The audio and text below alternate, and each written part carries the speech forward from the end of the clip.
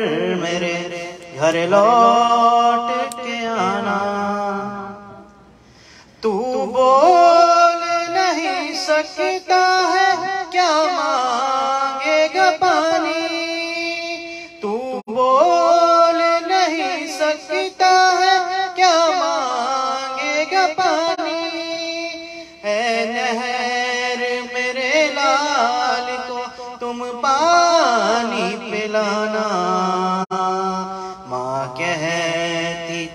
تھی میرے گھر لوٹ کے آنا۔ تلوار اٹھا سکتے نہیں تم میرے بیٹا۔ تلوار اٹھا سکتے نہیں تم میرے بیٹا۔ تم تیر تبسم ہتھیار بنانا۔ ماں کہتی تھی اصغر میرے گھر لوٹ کے آنا۔ میدان میں برسا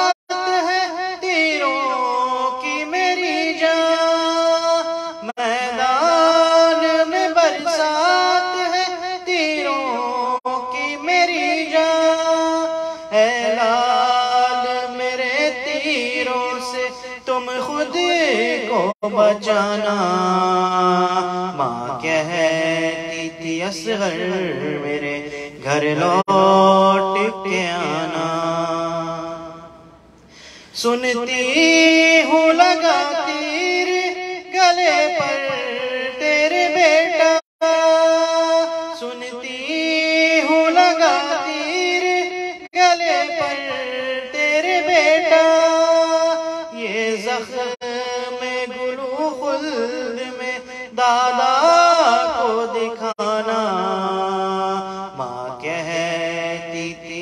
تھی میرے گھر لوٹ کے آنا۔ آخری معلوم تھا مجھ کو کہ تمہیں پیاس ہے کیسی۔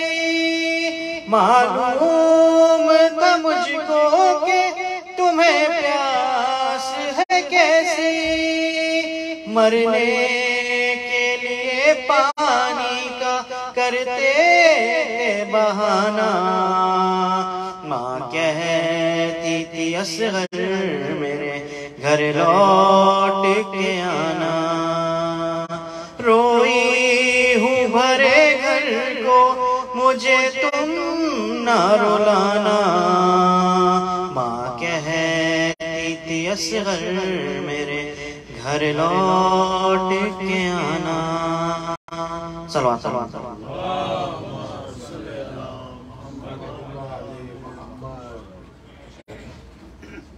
میں درخواست کروں گا جناب حجت الاسلام مولانا غلام حسین نصدی صاحب سے تشریف لائیں۔ محمد والے محمد صلوات۔ نعرہ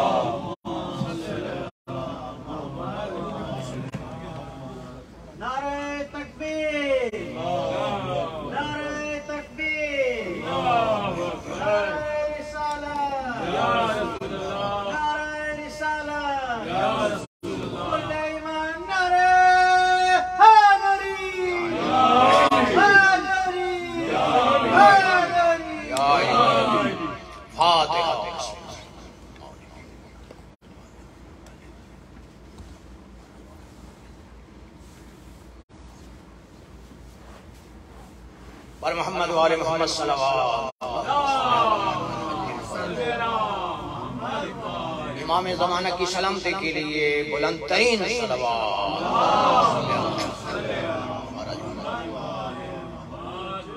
صاحب ادا کی طرف سے ازاداری سید و شہداء کی قبولیت کے لیے باردین صلوات۔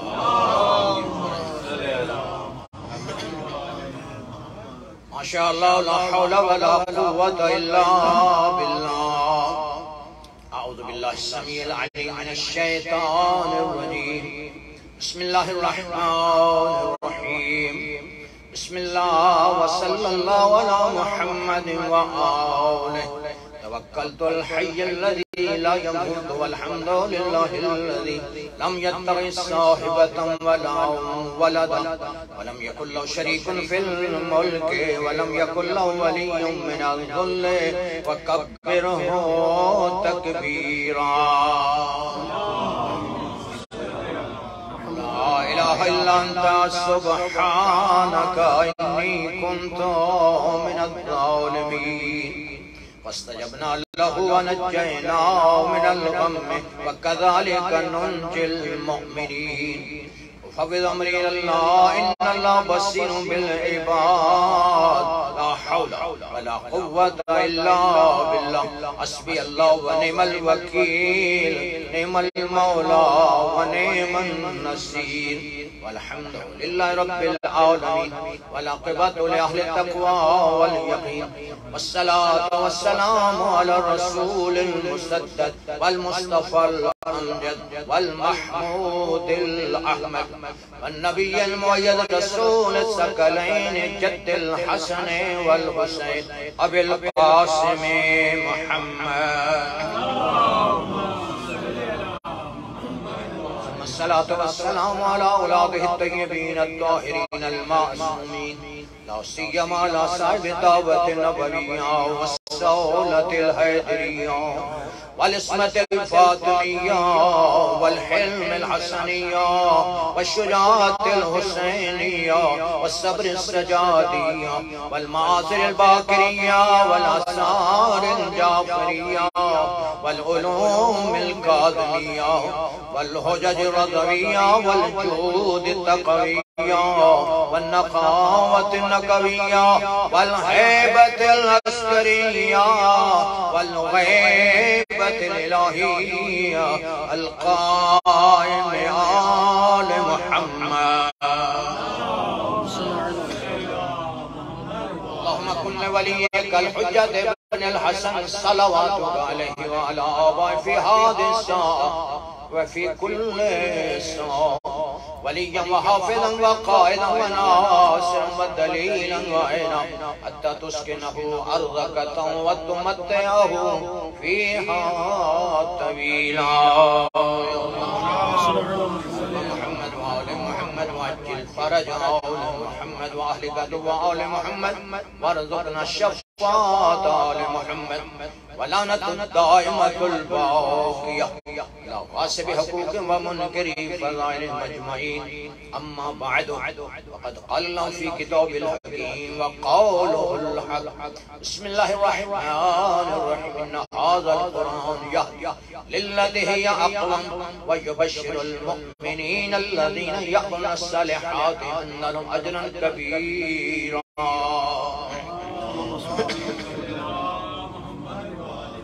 ارشاد پروردگار ہے، یہ قرآن کلام حق ہے، یہ کلام نور ہے، یہ پوری عالم انسانیت کے لیے سر چشمہ ہدایت ہے۔ یہ انسان کو سیدھے راہ کی ہدایت کرتا ہے۔ اور صحبان ایمان جو عمل صالح انجام دیتے ہیں، ان کو اجر کبیر کی بشارت ہے۔ اور شاہ ہوتا جو آخرت پر ایمان نہیں رکھتے، ہم نے ان کے لیے دردناک عذاب تیار کر رکھا ہے۔ اور قرآن مقدس میں سورہ بنی اسرائیل کی آیات ہیں اور آیات کے نشان نو اور دس۔ نائن اور ٹن اور ان آیات کی روشنی میں مسلسل ہماری گفتگو، منصب ہدایت اور قرآن کے حوالے سے ہو رہی ہے۔ اور کریں۔ معصوم فرماتے ہیں کہ جب قرآن کی تلاوت کرو تمہیں غور کرنا ہوتا ہے۔ کہ یہ آیت تمہیں کیا ہدایت کر رہی ہے؟ کیا میسج اور پیغام دے رہی ہے؟ اس دار دنیا میں ہمارا عقیدہ قرآن کے مطابق ہونا چاہیے۔ عمل کردار قرآن کے مطابق ہمارا اخلاق قرآن کے مطابق ہونا چاہیے۔ یہ پوری عالم انسانیت کے لیے دستور العمل ہے ضابطہ حیات۔ اگر واقعی اس دار دنیا میں رہتے ہوئے ہم نے قرآن کو فالو کیا، قرآن کے احکام غور و فکر کیا اور عمل کیا، تو قیامت کے دن یہ قرآن ہماری سفارش کرے گا۔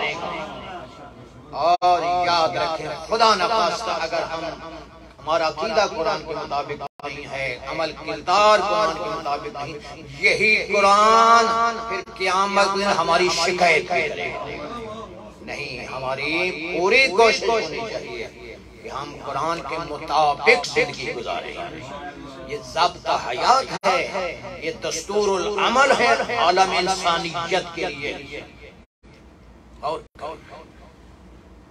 ارشاد ہو رہا ہے سورہ انعام۔ ان هذا صراط مستقيما. فاتبعوه. ولا تتبعوا السبل فتفرق بكم عن سبيله. میرا راستہ صراط مستقیم ہے. اسی کی اتباع کرو، متفرق راستوں کی طرف نہ جاؤ۔ تمہارا پروردگار تم اس بات کی وسیعت کرتا ہے تاکہ تم متقی بن جاؤ۔ اور کیا آپ نے اب وہ کون سا سرات مستقیم ہے توجہ؟ جس کی پروردگار ہمیں وسیعت کر رہا ہے، ہمارا پروردگار۔ اگر غور کیا جائے، تو جہاں کہیں بھی مسلمان اس دار دنیا میں اللہ کی نماز پڑھتے ہیں اس میں سورہ الحمد پڑھتے ہیں، سورہ فاتحہ پڑھتے ہیں اور مسلسل یہ دعا کرتے ہیں اہدن الصراط المستقیم، صراط الذین انعمت علیہم۔ پروردگار ہمیں صراط مستقیم پر ثابت قدمی عطا فرما۔ ان لوگوں کا راستہ جن پر تیری نعمتیں نازل ہوئی ہیں۔ اب وہ کون زبات مقدسہ ہیں جن پر اللہ کی خاص نعمتیں نازل ہوئی ہیں؟ سورہ نساء 69 نمبر کی آیت ہے اولئک الذین انعم اللہ علیہم من النبیین والصدیقین والشہداء والصالحین۔ جن پر اللہ کی نعمتیں نازل ہوئی ہیں، وہ انبیاء ہیں، وہ صدیقین ہیں، وہ شہداء ہیں، وہ صالحین ہیں۔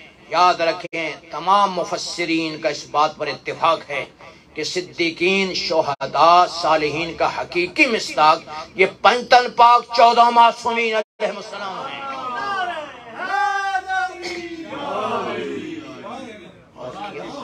تو غور کیا آپ نے؟ جس صراط مستقیم کی مسلمان پانچ وقت کی نماز میں دعا کر رہا ہے وہ ایک لاکھ چوبیس ہزار انبیاء کا صراط مستقیم ہے، چودہ معصومین کا صراط مستقیم۔ اور کریں، ہماری گفتگو منصب ہدایت قرآن کے حوالے سے ہو رہی ہے۔ کیا وجہ ہے؟ کیا ہم صراط مستقیم سے بھٹک جاتے ہیں، دور ہو جاتے ہیں؟ حکم ہے، صبح بھی یہ دعا کرو، ظہر میں بھی یہ دعا کرو اثر میں بھی، مغرب میں بھی، عشاء میں۔ یہ دعا کرو۔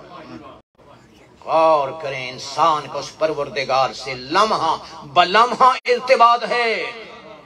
لمحہ بلحمہ اس کی طرف سے رحمتیں نازل ہو رہی ہیں، برکتیں نازل ہو رہی ہیں۔ یہ زندگی والی نعمت نازل ہو رہی ہے آفیت اور سلامتی والی۔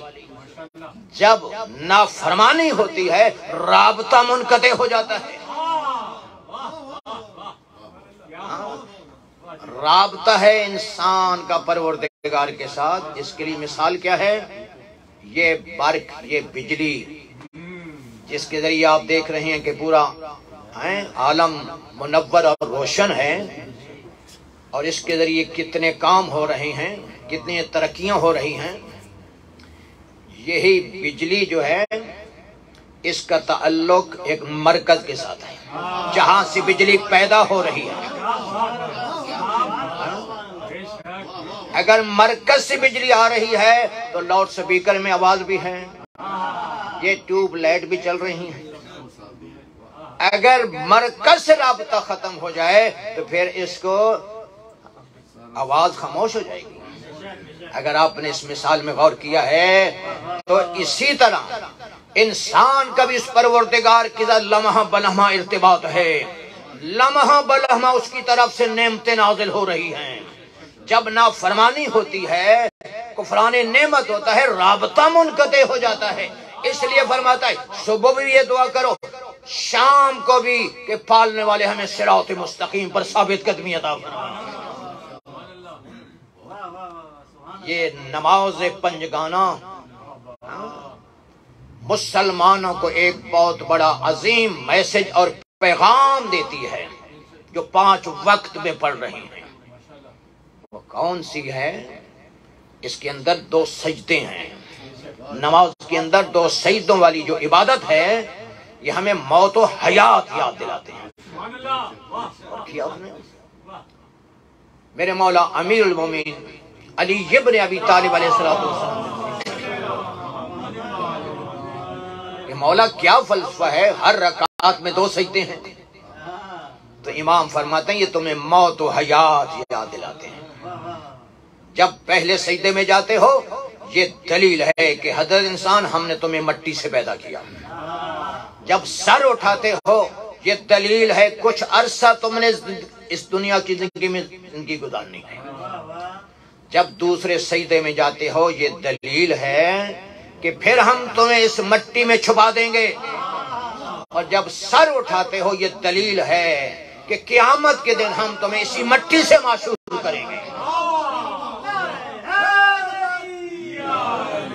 جیسے وہ فرماتا ہے، سورہ انبیاء منہا خلقناکم وفیہ نعیدکم ومنہا نخرجکم تارتا اخرى۔ ہم نے حضرت انسان کو مٹی سے پیدا کیا، پھر دوبارہ اسی میں پلٹائیں گے اور قیامت کے دن اسی مٹی سے معشور کریں گے۔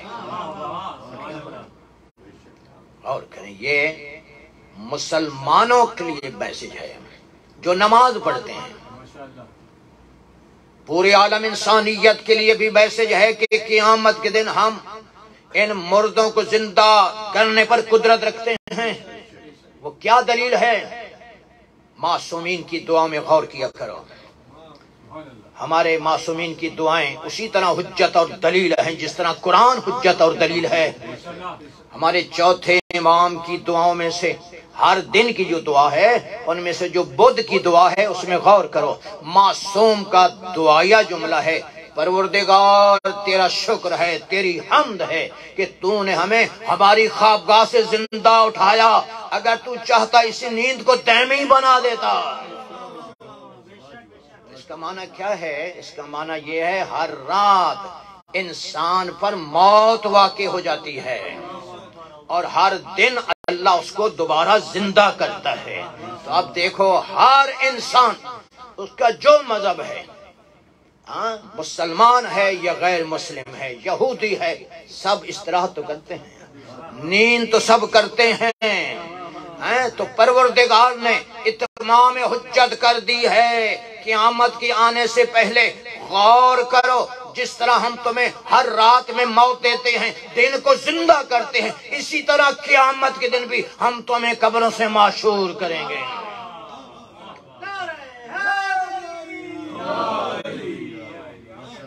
لہذا نماز جب ہم پڑھے ہیں، تو اس میں غور و فکر کرنا ہے، اس تصور سے پڑھو۔ ہاں، اس لیے ہے اگر آپ اس تصور سے پڑھیں گے پھر نافرمانی کا انسان سوچ بھی نہیں سکتا۔ اس لیے معصوم فرماتے ہیں ہیں، خشوع اور خضو ہونا چاہیے۔ دل میں خوشو ہو آزائے جوارے میں خوشو ہو رکت قلبی ہو آخری نماز سمجھ کر پڑھو۔ معصومین جب نماز پڑھتے تھے ہمارے دوسرے پیشوا مولا زین العابدین، تمام معصومین کی یہ سیرت ہے ہاں؟ کہ لرزہ تاری ہو جاتا تھا۔ اب پروردگار نے مسلمانوں پر تمام عالم انسانیت پر اتمام حجت کر دیا ہے۔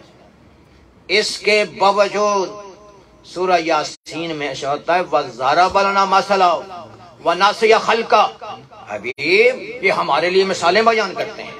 اپنی خلقت کو بھول گئے۔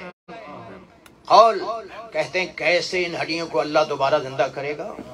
قول یحیی الذی انشاء اول مرہ۔ کہہ دو وہی ذات جس نے اس کو عدم سے وجود عطا کیا۔ وہ قدرت رکھتا ہے۔ اور کیا آپ نے؟ سلوات پر محمد والے یہ خطاب ہے۔ یہ خطاب حضرت انسان سے ہے، جس کو پروردگار نے طرح طرح کی نعمتوں سے نوازا ہے۔ اس کا لطف و کرم دیکھیے، اس نے انسان کو جمادات سے افضل قرار دیا۔ کیونکہ جمادات میں نمو نہیں ہے، نباتات سے افضل قرار دیا۔ چونکہ نباتات میں حص نہیں ہے، حیوانات سے افضل قرار دیا۔ کیونکہ حیوان میں عقل و شعور نہیں ہے۔ اس کو اشرف المخلوقات کا خطاب دیا ہے۔ یہ ملائکہ سے بھی افضل ہے۔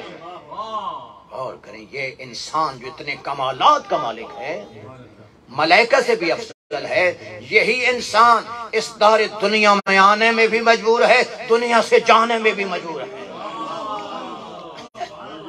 نہ اپنے اختیار سے آ سکتا ہے، نہ اپنے اختیار سے دنیا سے جا سکتا ہے۔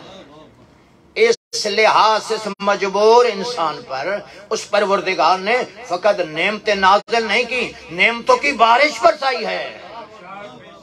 دعائے کمیل کے اندر غور کیا کریں میرے مولا کا دعائیا جملہ ہے، یا صوب غنیم یا دافع النکم، یا نور المستوحشین فی الظلم۔ اے نعمتوں کی بارش برسانے والی ذات، اے تکلیفوں پریشانیوں کو دور کرنے والی ذات۔ اے تاریخ قبر میں روشنی عطا کرنے والی ذات۔ میرا مولا محو گفتگو ہے۔ عجیب انداز گفتگو ہے۔ فرماتے ہیں، یا سری الرضا، اغفر لمن لا یملک الا الدعاء اے جلد راضی ہو جانے والی ذات، بخش دے اس ناتواں انسان کو جو کسی شے کا مالک نہیں ہے۔ یہ اتنا کمزور ہے یہ اپنی جوانی سے بڑھاپے کو دور کرنے کا مالک نہیں۔ یہ اپنی صحت سے مرض کو دور کرنے کا مالک نہیں۔ یہ اتنا ناتواں ہے اپنی زندگی سے موت کو دور کرنے کا مالک نہیں۔ اور کریں۔ اگر دنیا میں دو انسانوں میں اختلاف ہو جائے، جھگڑا، لڑائی ہو جائے، تو کون پہلے راضی ہوتا ہے؟ جو کمزور ہوتا ہے، جو مد مقابل کا مقابلہ نہیں کر سکتا۔ صاحب طاقت انسان، صاحب اقتدار انسان، کبھی جلد راضی ہونے تیار نہیں ہے۔ میرا مال ذات کے بارے فرما رہے ہیں، جس کے بارے آج کا تصور بھی نہیں ہو سکتا۔ حقیقت یہی ہے، اگر انسان خلوص سے نیت کے ساتھ توبہ طیب ہو کر اس کے سامنے سجدہ ریز ہو جائے، وہ اتنا کریم ہے، اتنا مہربان ہے، جلد راضی ہو جاتا ہے۔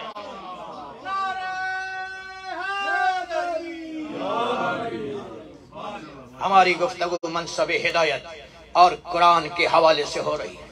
میرا مولا فرماتا ہے، یا ساب غنم اے فراوان نعمتیں نازل کرنے والے، نعمتوں کی بارش برسانے والے، کتنی فراوان نعمات ہیں۔ سورہ نحل کے اندر اشارہ ہوتا ہے، وَإِن تَعُدُّوا نِعْمَةَ اللَّهِ لَا تُحْصُوهَا اے حضرت انسان، تم اگر اللہ کی نعمتوں کو شمار کرنے لگو، قابل احسان نہیں ہے قابل احسان نہیں ہے یہ نیل گو آسمان اللہ کی نعمت ہے۔ یہ فرش زمین اللہ کی نعمت ہے۔ یہ دن میں چمکتا ہوا سورج اللہ کی نعمت ہے۔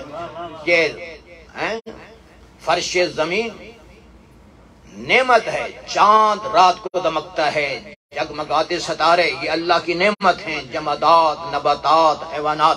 الغرض، یہ پوری کائنات اللہ کی نعمت ہے، توجہ، لیکن اس کائنات سے بڑھ کر ایک ہستی کا وجود اللہ کی نعمت ہے، جس کے بارے فرماتا ہے لولا کا لما خلقت الافلاق حبیب، اگر تیرا پیدا کرنا بخش میں کائنات کو پیدا نہ کرتا یہ پوری کائنات خاتم الانبیاء کے صدقے میں اللہ نے بنائی ہے۔ غور کریں۔ تو عظیم نعمت پاک پیغمبر کا مقدس وجود ہے۔ انبیاء کے اوصاف ہیں۔ جناب آدم کو صفی اللہ کہا گیا۔ جناب نوح کو نجی اللہ کہا گیا۔ جناب موسیٰ کو کلیم اللہ۔ جناب عیسیٰ کو روح اللہ۔ جناب ابراہیم کو خلیل اللہ کہا گیا۔ اور پاک پیغمبر کو حبیب اللہ کہا گیا۔ اور کریں۔ اردو زبان میں خلیل اور حبیب دونوں کا معنی دوست ہے۔ ہاں، حبیب ہو یا خلیل، دونوں کو دوست۔ لیکن عربی زبان کی یہ فساد و بلاغت ہے۔ توجہ، خلیل اس سے کہتے ہیں جو اللہ سے اظہار محبت کرے، حبیب اس سے کہتے ہیں جس سے اللہ اظہار محبت کرے۔ یہ محبوب کبریا ہیں۔ اسے ہوتا ہے، حبیب، قول، ان کنتم تحبون اللہ فتبعونی یحببکم اللہ۔ کہہ دو، حبیب، اگر تم اللہ سے محبت کا دعویٰ کرتے ہو تو میری اتباع کرو۔ اللہ تم سے محبت کرے گا۔ کیا رتبہ ہے، کیا مقام ہے پاک پیغمبر کا۔ پیغمبر کی اتباع کریں گے تو اللہ محبت کرے گا۔ تو جو پیغمبر کو مانتے ہی نہیں ہیں ہاں؟ اللہ ان سے کیسے محبت کرے گا؟ کہہ رہے، کیسے اللہ ان کی عبادت قبول کرے گا؟ تو غور کیا آپ نے؟ عظیم نعمت پاک پیغمبر کا موجود ہے اور انسان کی فطرت ہے جب نعمت ملتی ہے، شکریہ ادا کرتا ہے۔ ارشاد ہوتا ہے لَإِن شَكَرْتُمْ لَعَزِيدَنَّكُمْ اگر شکریہ میں تسلسل رہے گا تو نعمتیں نازل ہوتی رہیں گی۔ تو عظیم نعمت پاک پیغمبر کا مقدس وجود ہے۔ ہاں، اب جنہوں نے پیغمبر والی نعمت کا اس طرح شکریہ ادا کیا جس طرح اللہ کی رضا ہے، اللہ جس طرح چاہتا ہے، فرماتا ہے، تم نے محمد مصطفیٰ پہ شکریہ ادا کیا، ہم تمہیں علی مرتضی والی نعمت دیں گے۔ تم نے علی مرتضی پہ شکریہ ادا کیا۔ ہم تمہیں حسن مجتبہ والی نعمت دیں گے۔ تم نے حسن مجتبہ پہ شکریہ ادا ہم سید الشہداء والی نعمت دیں گے۔ تم نے سید الشہداء پر شکریہ۔ ہم تمہیں زین العابدین والی نعمت دیں گے۔ محمد باقر والی، جعفر صادق والی، موسیٰ قادم والی، علی رضا والی، محمد تقی، علی نکی حسن عسکری والی اس کے بعد ایسی نعمت دیں گے جو تا قیامت باقی رہنے والی ہے۔ وہ ہستی ہمارے بارے میں آقا وجود پر نور ہے۔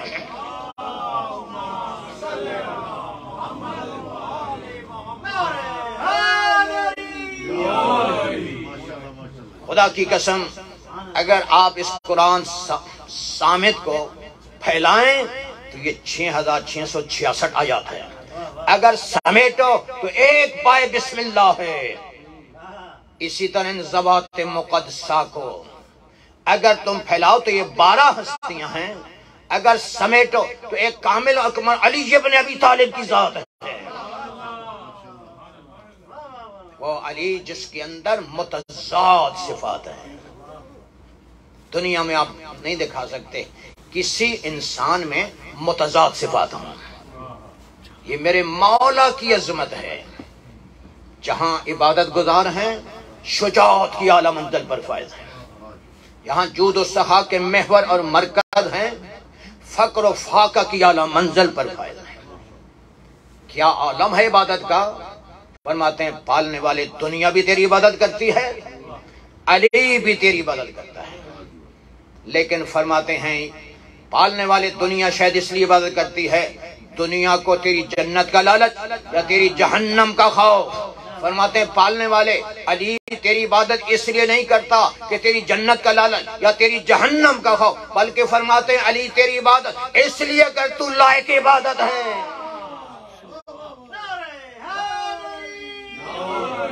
اس لیے تو فرماتے ہیں کفاؤ بھی عزن ان اکون لکا عبدن۔ وَقَفَا بِفَخْرٍ أَن تَكُونَ لِرَبَّكَ مَا أُحِبْ فَاجْعَلْنِي كَمَا تُحِبْ پالنے والے میرے لیے عزت کافی ہے میں تیرا عبد ہوں اور یہ فخر کافی ہے تجھ جیسا بے مثل بے مثال ذات میرا پروردگار ہے پالنے والے جیسے میں چاہتا تھا اب مجھے ایسا عبد کرا دے جو تیری مشیت ہے، تیری رضا ہے۔ شجاعت کی اعلیٰ منزل پر فائز ہیں۔ جب میرے مولا نے ہاں، جنگ خیبر کو فتح کیا ہے، تو ہاتھ غیبی کی صدا بلند، شاہ مردان شیر یلداں، قوت پروردگار، لا فتح اللہ علی، لا سیف اللہ ذوالفقار۔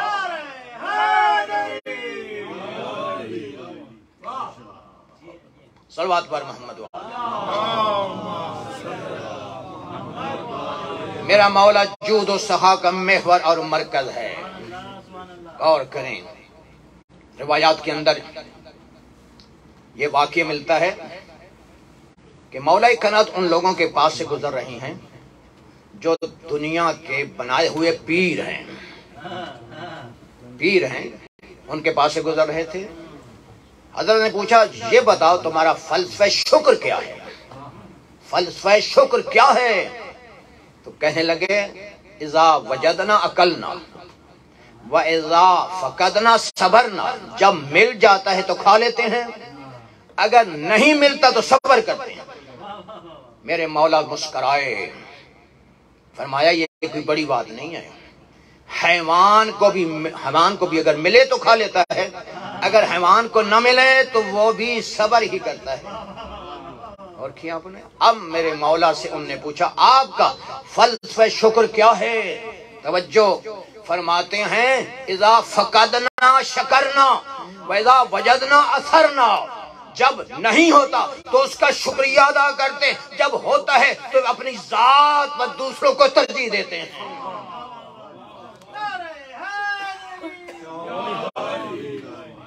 یہ سورت داہر ہاں؟ یہ آل محمد کی شان میں جو قصیدہ بن کر نازل ہوئی ہے ہاں؟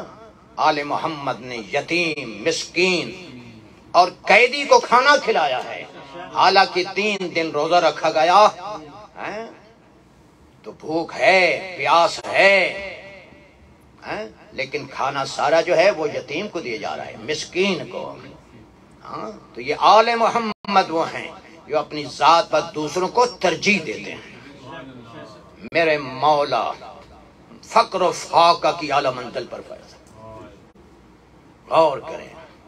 نہج البلاغہ میں فرماتے ہیں، الا وان لكل معموم امام قد یقتدی به ويستزي بنور علمه. الا وان امام قد اکتفى من دنیا بتمرے من تومه بکرسے الا وانکم لا تقدر ولا ذالکم ولكن اعینون بورن و اتحاد و عفت و صداد. فرماتے ہیں، اس دار دنیا میں ہر مقتدی کا ایک پیشوا ہے، رہنما ہے، جس کے وہ نور علم سے فیض یاب ہوتا ہے، روشنی حاصل کرتا ہے، اس کی پیروی کرتا ہے، اس کے نقش قدم پہ چلتا ہے۔ مولا فرماتے ہیں، میں نے دنیا میں رہتے سادہ لباس پہنا ہے، سادہ غذا کھائی ہے۔ مجھے یقین ہے، تمہاری طاقت میں نہیں ہے، تمہاری قدرت میں نہیں ہے، لیکن فرماتے ہیں، میرے ساتھ دو چیزوں میں تعاون کرو۔ واجبات بجا لاؤ محرمات سے اجتناب کرو۔ علی تمہاری جنت کا ذمہ دار ہے۔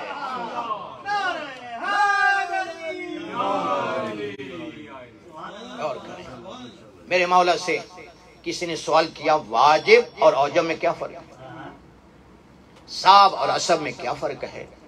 قریب اور اکرم میں کیا فرق ہے؟ عجیب اور آجب میں کیا فرق ہے؟ فرماتے ہیں، واجب علی الناس ان یتوب ولیکن ترک الذنوب اوجب واجب یہ ہے، ضروری یہ ہے کہ انسان سے اگر اشتباہ ہوا، غفلت ہوئی، گناہ ہوئے، توبہ کرے، استغفار کرے کیونکہ اللہ کے محضر میں ہے، پروردگار دیکھ رہا ہے۔ لیکن اوجب یہ ہے کہ اصلاً اس کی نافرمانی نہ کی جائے۔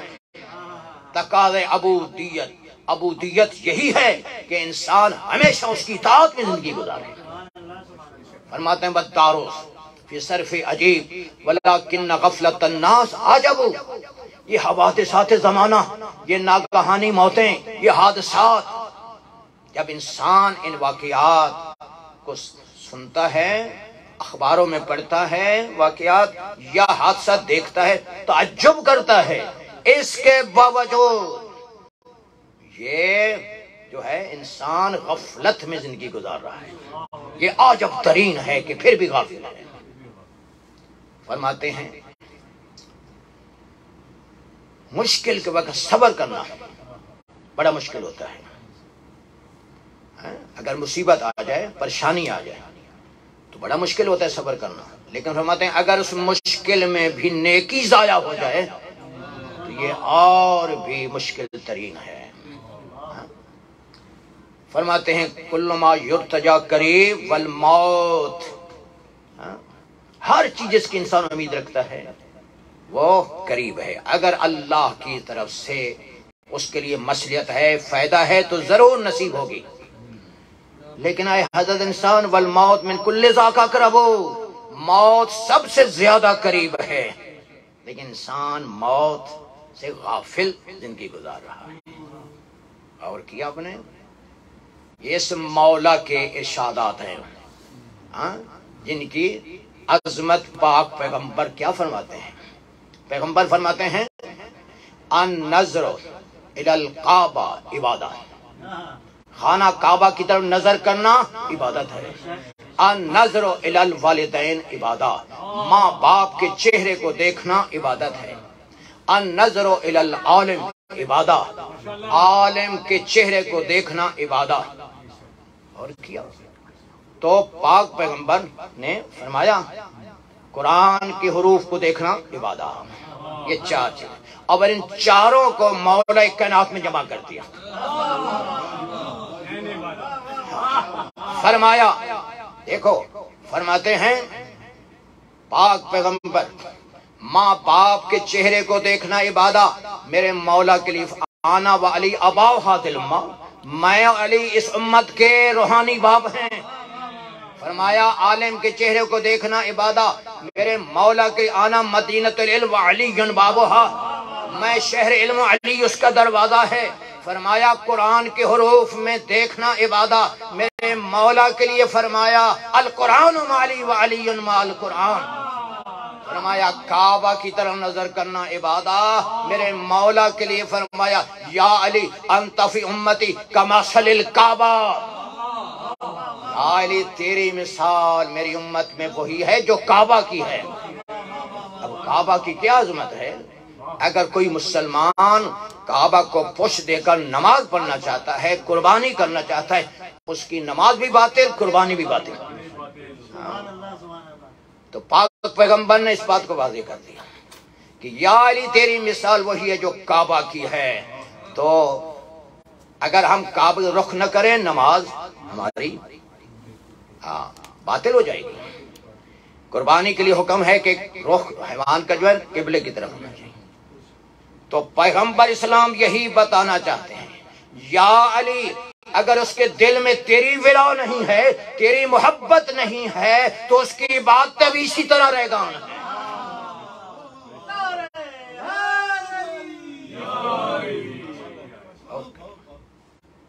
یہ آزاداری ہماری شہر کی حیات ہے۔ حقیقت میں اس کا ہمیں فائدہ مرنے کے بعد ہوگا۔ علیہ پہ جب مولا حسین نے جب اکبر بھی نہ رہے، قاسم بھی نہ رہے، مولا پاس بھی رخصت ہو گئے، استغاثہ بلند کیا۔ حل من ناصر ینصرنا۔ حل من مغیث یغیثنا۔ حل من زابن یزب عن حرم رسول اللہ۔ تو ازادارو اس کا اثر علی اصغر پر ہوا ہے۔ علی اصغر نے گہوارہ چھوڑ دیا۔ دوبارہ استغاثہ بلند کیا تو ازادارو اب علی اصغر کونیوں کے بل چلنے لگا۔ ازادارو جناب زینب عرض کرتے ہیں بھیا حسین، اب تیسری مرتبہ استغاثہ نہ کرنا ہے زنہو علی اصغر کونیوں اس پہ چل کر خیمے کے باہر نہ آ جائے۔ ہزادارو ماتم دارو روز اشورا ہے۔ جناب رباب علی اصغر کو اپنی گود میں لیے ہوئے قرآن کی تلاوت کر رہی ہیں۔ والوالدات یرزین اولادہن حولین کاملین۔ بیٹا اصغر اللہ کا حکم ہے، مائیں دودھ پلائیں بچوں کو دو سال کامل۔ ساتویں سے پانی بند ہوا۔ بیٹا میرا دودھ خشک ہو گیا ہے۔ ازادار و مولا حسین نے دیکھا۔ فرماتے ہیں، میرا اصغر مجھے دو۔ میں اس کو پانی پلا کر لاتا ہوں۔ ازادارو ماتم دارو فوج اشکیا کے سامنے لائے۔ فرمایا، پسرے ساتھ اگر تیری نگاہ میں قصوروار ہے، تو فرزند زہرا، اس معصوم کو پانی پلاؤ۔ ازادارو اس نے دیکھا حرملائک تا کلام الحسین، حسین کی کلام کا جواب۔ دے اس ملون نے تیر اٹھایا ہے تیر گر گیا پھر دوسرا اٹھایا کمان میں رکھا وہ بھی تیر گر گیا جیسے جو پسر ساتھ دیکھ رہا کہتا ہے حرملہ بڑے تیر انداز تھے کیا وجہ ہے؟ تیر کیوں نہیں لگ رہے؟ ازادارو یہ کہتا ہے میرے نزدیک معلوم ہوتا ہے تیری اپنی اولاد نہیں۔ جب میں تیر چلانے کی کوشش کرتا ہوں، خیمے کے اندر چار سال کی سن کی بچی ہے۔ کبھی دائیں، کبھی بائیں دوڑتی ہے۔ کہتی ہے ظالمہ یہ وہ شیر خار جس کو ماں نے جی بھر کر دودھ نہیں پلایا۔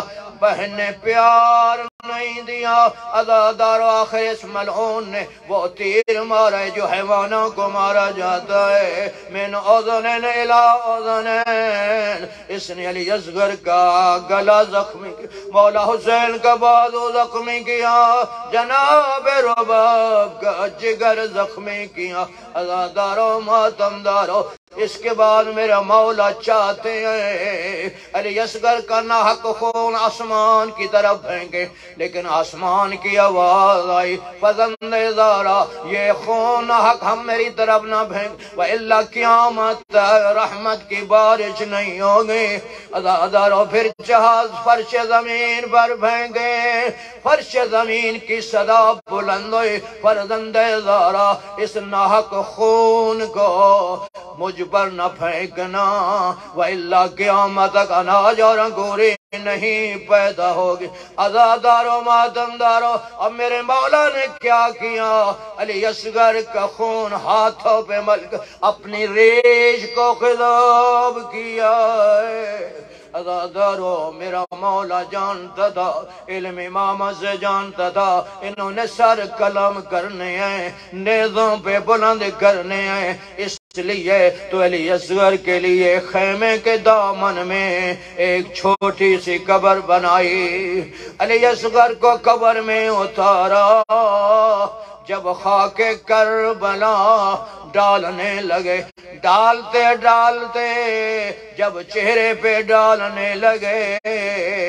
فرمایا، بیٹا سوار، اللہ حافظ، نہ میرا قاسم رہا، نہ اکبر رہا، نہ آنا محمد، نہ عباس رہا۔ بیٹا، میرے مجبوری ازادارو ماتمدارو آخری جملہ۔ ابھی شبیہ جھولا آئے گی، اس کی آپ زیارت کریں گے۔ ازادارو ماتمدارو کیا علی اصغر محفوظ ہو گیا؟ میرے مولا نے دفن کر دیا تھا۔ کیا وہ اس ظلم سے بچ گیا؟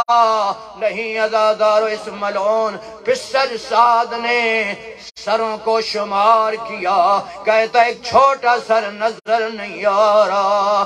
ازادارو مادمدارو کہتا ہے، سارا کربلا میں۔ علی اصغر کو تلاش کرو اور ان کے ہاتھوں میں نیزیں ہیں۔ علی اصغر کو تلاش کر رہے ہیں۔ ایک ملعون کہتا ہے، میں دیکھ رہا تھا حسین خیمے کے دامن میں علی اصغر کو دفن کر رہے تھے۔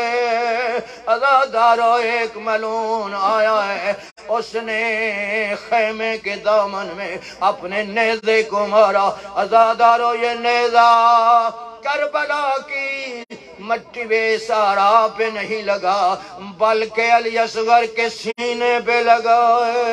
علی اصغر نیزے کی چنج پہ بلند ہوا جناب سکینہ نے دیکھا، عرض کرتے پھوپی اماں دیکھو میرا اسوار، دوبارہ زبا ہو رہا ہے۔